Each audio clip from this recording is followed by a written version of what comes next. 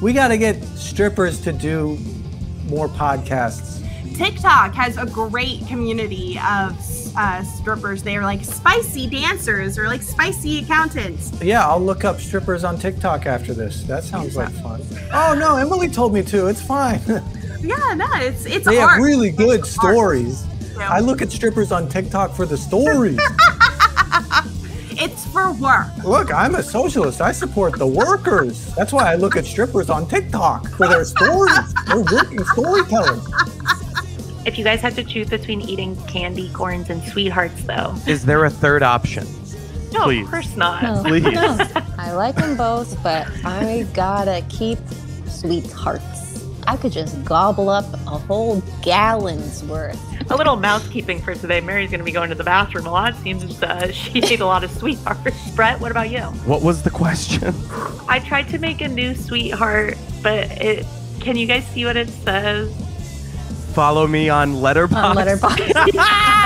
yes. kind of medically explains why I hate sucking dick so much. You know what I mean? Like, Yo, honestly, born that way. You know, You right? Came out through him like, uh, uh that ain't that.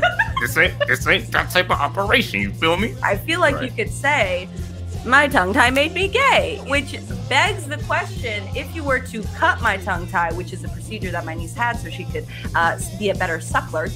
Would I be straight? I'm just out here chomping dick after dick. You just fucking corn on a cobbin. So I guess yeah, that's what, that's that's my niece is checking for me was was a long-winded. That was that long-winded answer. Nice.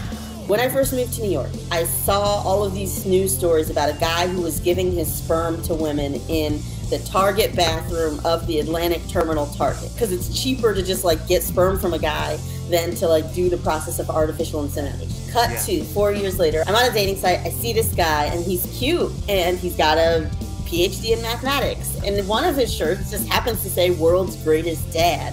And I look it up. It is Shut it up. sperm guy. It is probably should have gone on that date. Like that's a good That's a good story. Because I was like, and uh, I don't like to talk about it, but my husband, I don't know what he does.